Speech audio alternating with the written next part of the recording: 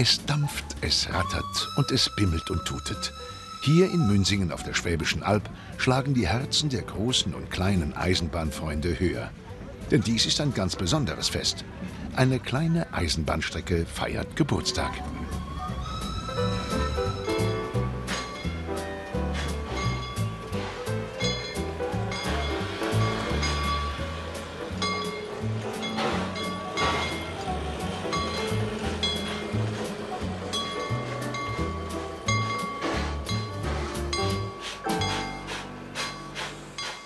Das ist Paula.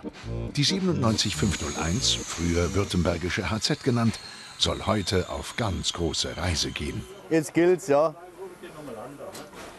Die typische Hektik kurz vor der Abfahrt. In Reutlingen wird Paula mit historischen Wagen verkoppelt. Sie soll nach Münsingen, hin zu den Schienen, für die sie einst gebaut wurde. Das Streckennetz der Schwäbischen Albahn, kurz SAB. Wir haben die Nacht über auch kaum schlafen können, teilweise auch einfach vor Aufregung. Natürlich waren dann noch die letzten Vorbereitungen, aber äh, jetzt diese Aufregung, einfach auch diese Lok auf die Alp zu bekommen und äh, die Wagen dazu, die passenden, das ist einfach äh, für einen Eisenbahner ein Gefühl wie Weihnachten, mehrere Jahre hintereinander, wie die ganze Zeit Nachtisch. Paula wird liebevoll die Zahnraddampflok genannt, weil einst eine Wirtin im Reutlinger Bahnbetriebswerk so geheißen haben soll. Die Lok soll auf die Schwäbische Alb. Die 34 Kilometer kurze Verbindung von Reutlingen nach Münsingen gibt es jedoch nicht mehr. Paula muss fast fünfmal so weit fahren. 167 Kilometer. Von Reutlingen über Plochingen, die Geislinger Steige hoch nach Ulm und Schelklingen bis Münsingen.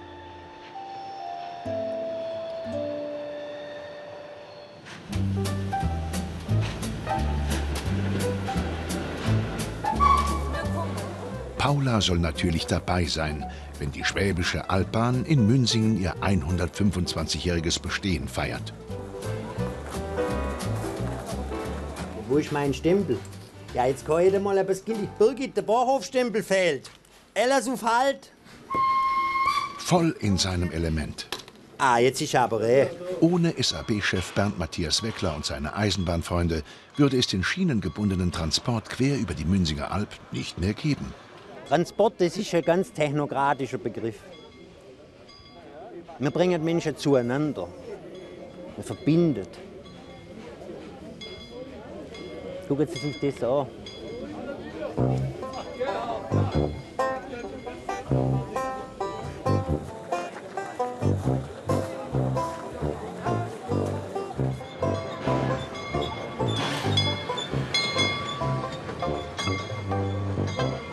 Eine Technik, die die Menschen verbindet, aber die die Menschen auch in Gang setzt.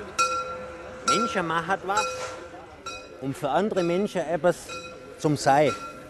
Und wenn ich meine Belegschaft angucke, unsere aktiven Mitglieder und unsere Beschäftigten, wenn ich unsere Bevölkerung angucke entlang der Strecke, die Verbundenheit zur Eisenbahn, diese Zuneigung, die wir erfahren dürfen, das kann man überhaupt nicht mehr in Worte ausdrücken.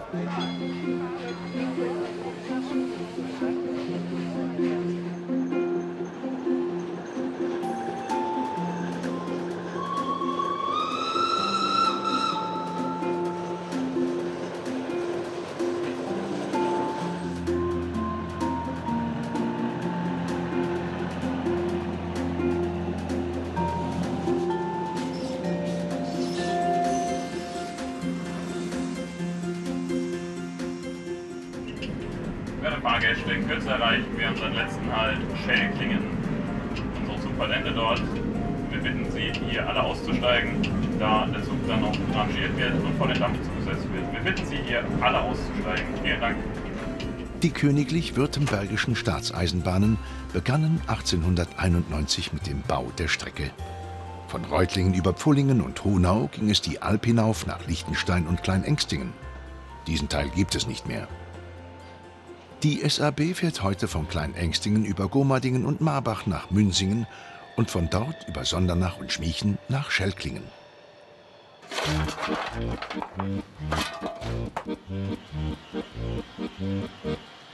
Paula unter Dampf. Und Dampf braucht es viel.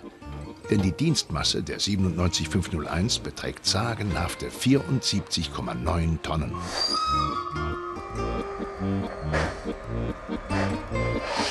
Wir sind schon eine Weile dran. Es ist natürlich klar, das geht nicht in einer halben Stunde, dass wir hier äh, auf Dampf sind. Da muss man rechtzeitig anfangen. Dampfzugfahrer heißt immer früh aufstehen und äh, vorbereiten. Das ist natürlich auch mit der Grund, warum die Dampflokomotiven irgendwann mal abgelöst worden sind, weil einfach der Aufwand viel höher ist. Bei einer Diesellok muss man zwar auch vorwärmen, aber das geht mit einer Vorwärmanlage. Bei der Elektrolok geht es noch einfacher, aber wie gesagt, hier muss man einfach Vorarbeit leisten, bis man fahren kann.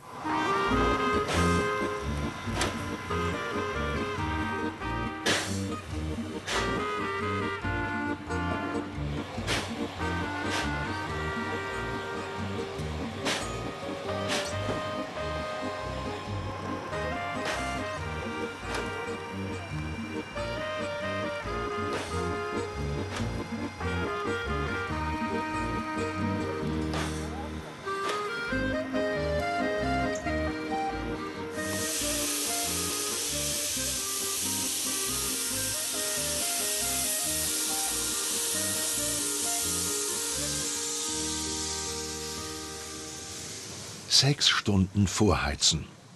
Ein Klacks im Vergleich zu den Arbeiten, die nötig waren, dass Paula überhaupt wieder fährt.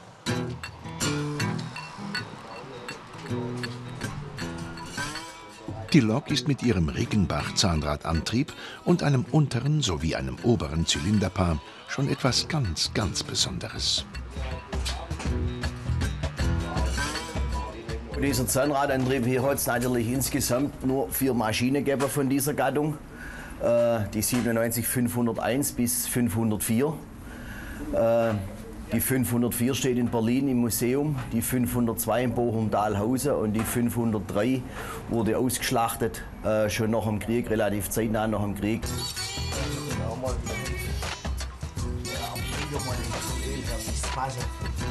Das ist jetzt die einzigste funktionsfähige äh, der Baureihe 975 und äh, natürlich auch mittlerweile mit moderner Zugsicherungstechnik. Also das war noch einmal ein richtiger Kraftakt, den wir auch noch einmal richtig neilangen müssen.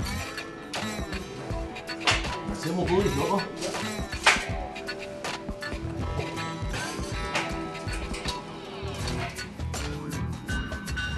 Richtig zupacken.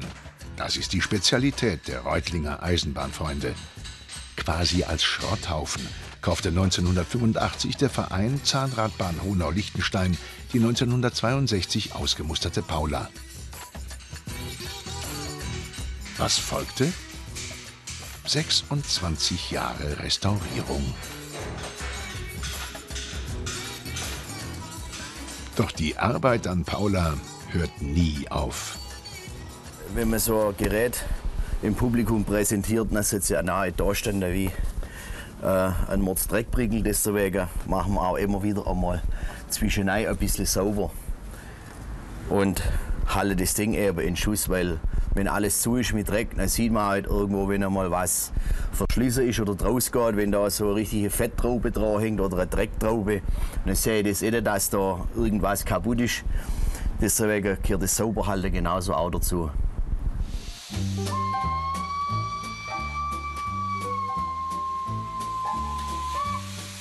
Die 58 Thai 11, die badische Schlepptenderlok der Dampfnostalgie Karlsruhe. Auch sie dabei beim Jubiläum der Schwäbischen Albahn.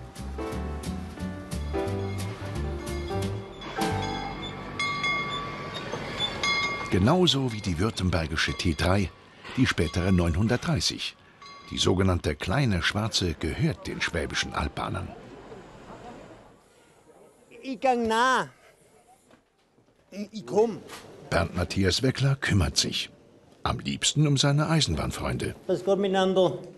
Hallo. Ist recht so weit Wasser hin. Sehr gut. Ja, na komm ich. Was gegessen? Hm? Ach, wir haben Maultaschen, habe ich vom Feilenschmied. Ja. Und Kartoffelsalat. So also. War sehr gut. So, ja, ja, der kann seine Sache, sonst Der steht man. so, ja. ja, so ist wie bei uns auch. Wir machen Eisenbahn, der andere macht Maultaschen. So hat ja jeder etwas Wasser gehabt, gell? Und in Münsingen können sie Eisenbahn. Und das auf einer Strecke, die um die Jahrtausendwende eigentlich dicht gemacht werden sollte. Doch die Altbahn lebt und kann Jubiläum feiern. Man kennt heilen vor Freude.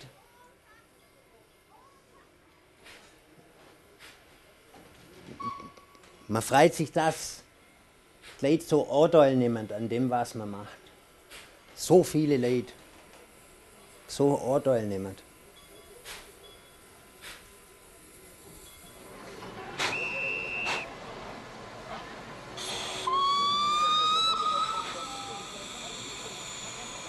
Ja, wie man sollte ja einen Zug fahren lassen.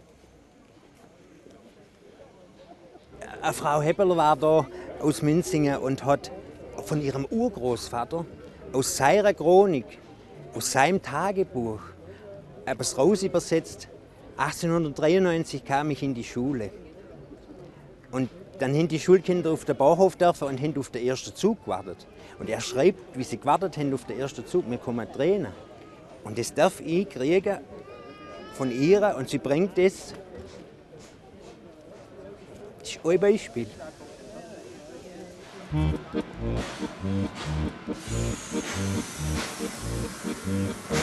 Paula auf ihrem langen Weg in die Heimat. Immer wieder muss umgekoppelt, immer wieder rangiert werden.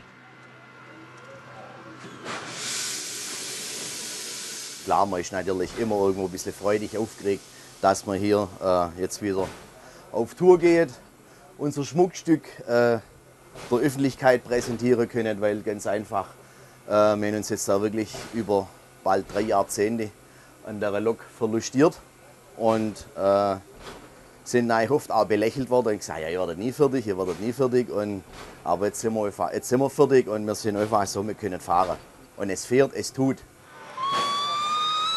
Und egal, wo Paula auf der Strecke zwischen Reutlingen und Münsingen hält, ihre Fans sind schon da. Man sieht hier äh, das Kesselschild, das ist das originale Kesselschild, der ist von Baujahr 1922. Gell? Und das ist natürlich klar in dieser alten Technik, kann natürlich irgendwann einmal auch was sein. Ich denke sicherlich, die Geislinger Steige wird sicherlich die größte Herausforderung sein, ein Novum, weil es war noch nie eine württembergische HZ auf der Geislinger Steige.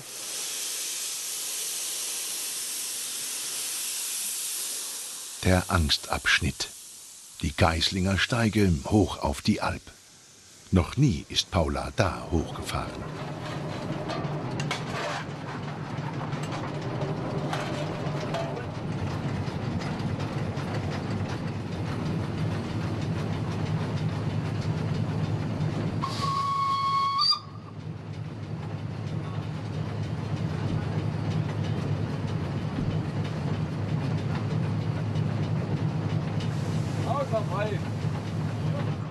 Die 1850 eröffnete Eisenbahnrampe überwindet auf 5,6 Kilometern 112 Höhenmeter.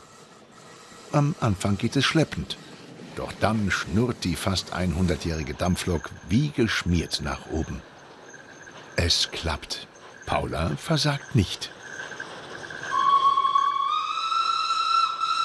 Okay, zugegeben, hinten helfen noch zwei Triebwagen. Trotzdem, Eisenbahner und Zuggäste glücklich.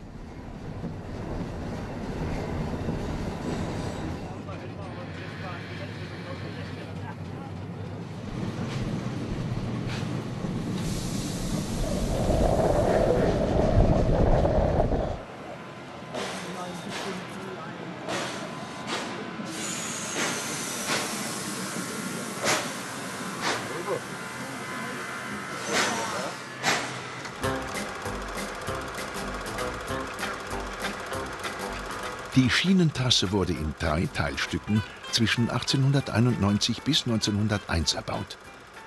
Auf den 58 Kilometern zählte die Honauer Steige mit dem Zahnradabschnitt und einer Steigung von 10 Prozent zu den steilsten Eisenbahnstrecken Deutschlands. Auf die Dampflok folgten Zahnradschienenbusse. In den 1960ern begann der Niedergang und am 28. Juli 1969 hieß es Feierabend.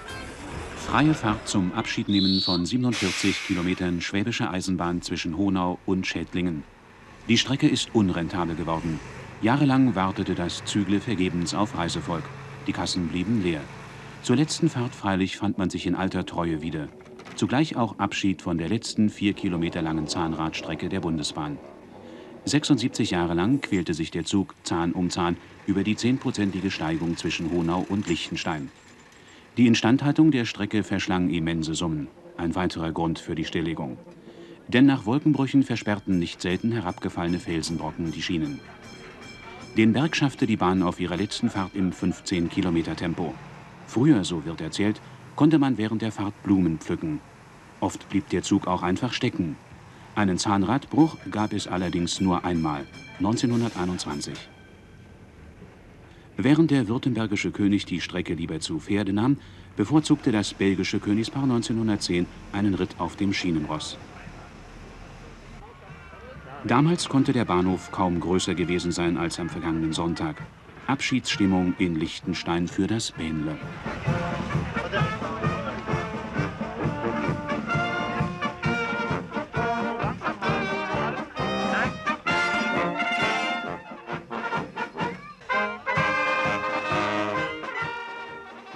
Die Großengstinger Trachtenkapelle blies ihm den letzten Marsch. An die dampfschnaubende Jugend des Bähnle erinnerte sich ein 87-jähriger Lichtensteiner. Die Pferde der, der, Gegend, das waren natürlich bisher lauter Kleinbauern, waren an den Zug nicht gewöhnt noch, an das Getöse und Gebrause und wurden wild, wenn sie, wenn sie den Zug unterwegs begegnet hatten. Und da mussten wir Buben, wenn wir runtergeritten sind, ja darauf sehen, dass wir am mittleren Ranken so heißt man in Honau die dritte, die mittlere Kehre, damit wir dort vorbei sind, weil es da ganz nah an der, die, Straße an der, an der Bahn liegt. Wenn da zu gleicher Zeit der Zug, wenn, wenn es also nicht ge, gehört, äh, nicht gelungen ist, vorher vorbeizukommen, sind die Pferde wild geworden dort.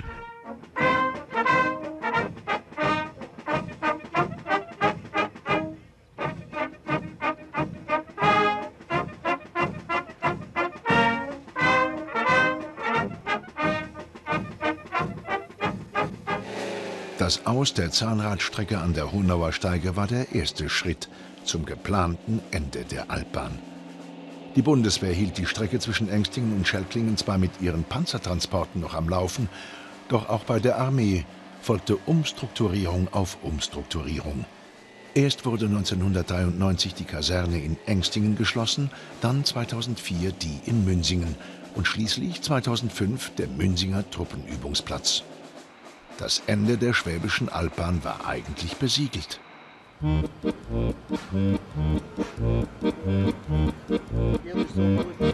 Paula macht Zwangspause auf ihrem Weg nach Münsingen. Immer wieder muss der Museumszug andere vor- und vorbeilassen.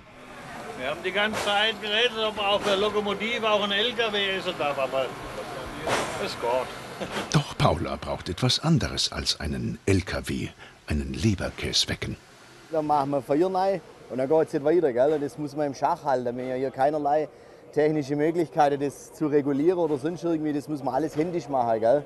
Die Kohle, wo drin ist, die ist drin, die brennt. Und dann ist man heiß und will eigentlich fahren und dann geht es nicht. Gell? Das, da muss man immer ein bisschen einfach gucken, ja, dass man jetzt viel und jetzt wenig hat.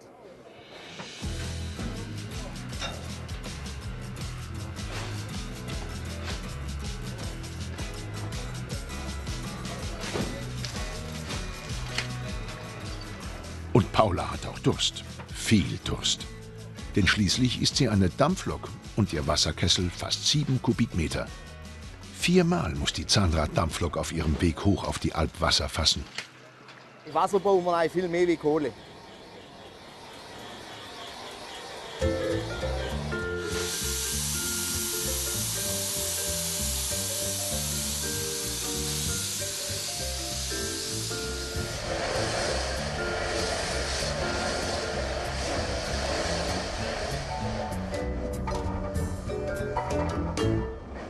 Größte Herausforderung ist eigentlich immer das Wasser, ähm, weil wir haben jetzt einen separaten Wasserwagen dabei. Man bekommt normalerweise auf der Strecke kein Wasser mehr, es gibt keine Wasserkreine mehr, äh, die, die ganze Infrastruktur ist abgebaut. Und das ist eigentlich immer die größte Herausforderung, an die Rohstoffe zu kommen, die die Lok braucht.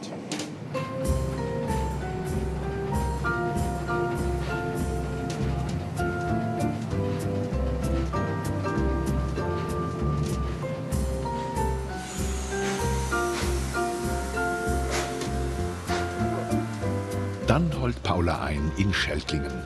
Rollt auf die Schienen, für die die 97501 mal gebaut wurde. Das ist grandios. Wir haben vorher schon gewitzelt, eigentlich müssten wir jetzt vorlaufen und direkt über die Strecke noch ein Band spannen. Natürlich in württembergischen Farben und das dann direkt mit der Lok durchfahren. Es ist einfach nur toll. Und zum Sonnenuntergang ist Paula fast zu Hause angekommen. Jetzt nur noch durchs Schmiechental nach Münsingen.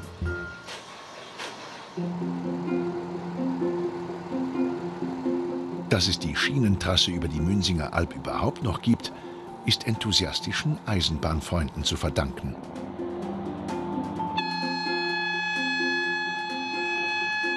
Die wollten nicht mit ansehen, wie nach dem Abzug der Bundeswehr die Strecke komplett dicht gemacht werden sollte. Also gründeten sie vor 15 Jahren den Verein Schwäbische Albbahn, aus dem fünf Jahre später die Betriebsgesellschaft gleichen Namens hervorging. Das ganze Projekt ein Erfolgsschlager. Diese Zuneigung, die wird garantieren, dass wir leben dürfen, dass man uns möchte und nutzt und braucht. Was kennt man schöner sein als Eisenbahner? Aber schöneres kann man sich nicht vorstellen. Wie, dass das, was man tut, geschätzt wird und angenommen wird. Dann ist man doch am rechten Platz vielleicht.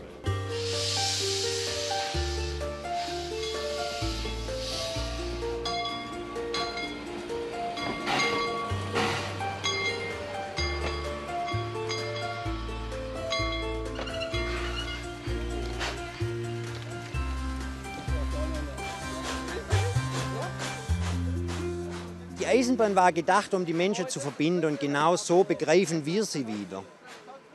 Und die Eisenbahn war am Leben, ging zu Tode und kam wieder zum Leben, weil es Menschen gegeben hat, die sie nicht gehen ließen. Und es sind Menschen wieder, die begeistert sind, diese Bahn mit Leben zu erfüllen und hier zu arbeiten, sei es ehrenamtlich samstags an die historische Fahrzeuge oder auch vollamtlich unter der Woche an die zeitgemäße Fahrzeuge. Und die Beweggründe dieser Menschen, die haben sich über diese Jahrzehnte, über diese 125 Jahre nicht sehr verändert.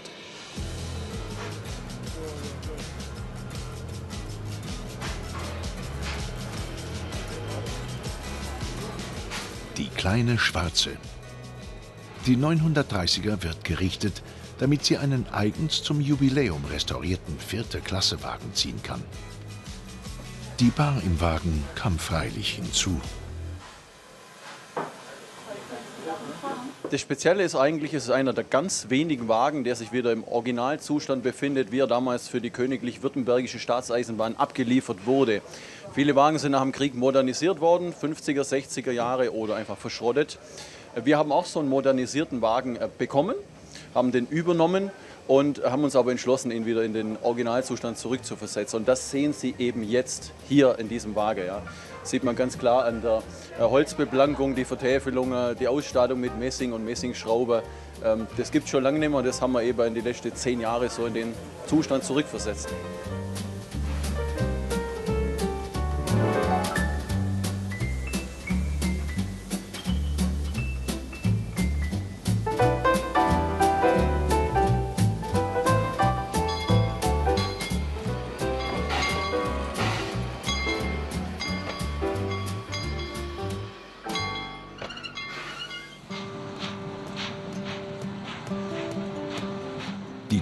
Schlängeln sich auf knapp 43 Kilometern über die Schwäbische Alb vorbei an so manchen Sehenswürdigkeiten. Das Haupt- und Landgestüt Marbach. Seit über 500 Jahren werden hier edle Pferde gezüchtet.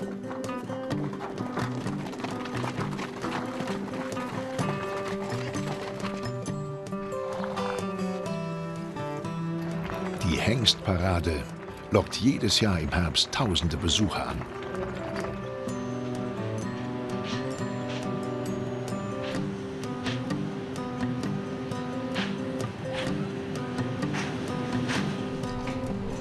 Wo einst Soldaten wohnten, im alten Lager Münsingen, lässt sich heute viel über das UNESCO-Biosphärengebiet Schwäbische Alb erfahren. Und Künstler erwecken die alten Militärbaracken zu neuem Leben.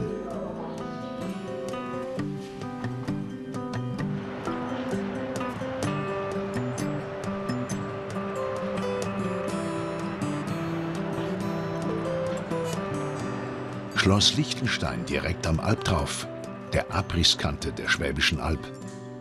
Dass es außen und innen aussieht wie ein Märchenschloss, kein Wunder. Denn Ideengeber für den Bauherrn Wilhelm Graf von Württemberg war kein geringerer als der Märchendichter Wilhelm Hauff. Schloss Liechtenstein. Früher wunderbar aus dem Zug anzuschauen. Heute fehlt leider genau dieser Abschnitt der Schwäbischen Albbahnstrecke. Der Honau-Haltepunkt, ein Bahnhof ohne Schienen.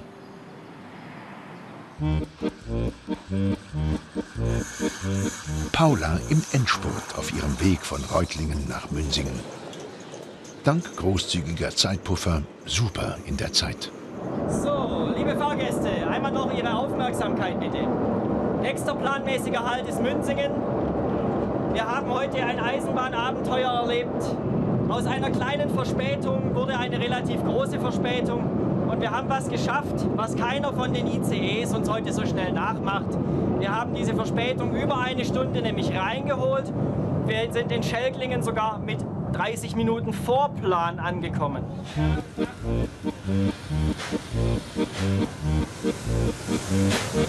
Paula und ihr Zug endlich in Münsingen.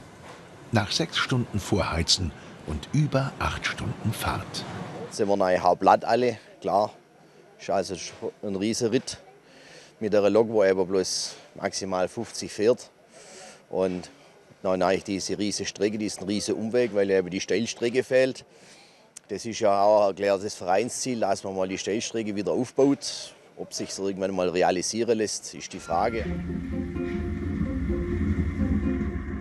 Und so dampft Paula die 97501 mit ihren rüstigen Kolleginnen über die Schienen der Schwäbischen Alb von Kleinengstingen über Münsingen bis hin nach Schelklingen zum 125-jährigen Jubiläum.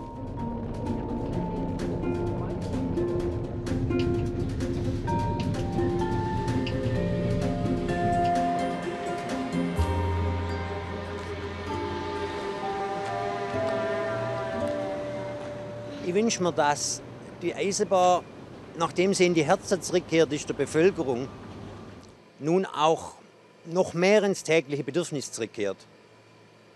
Dass sie die Rolle spielt im öffentlichen Personennahverkehr, die ihr ursprünglich zugedacht war, die sie lange, lange Jahrzehnte spielen konnte und die ihr aber nach wie vor vorbehalten ist. Und da dazu wollen wir sie wieder stark machen. Und Paula? Baujahr 1922 soll mithelfen, die Strecke attraktiv zu machen, um so den schienengebundenen Transport quer über die Schwäbische Alb mindestens für die nächsten 125 Jahre zu sichern.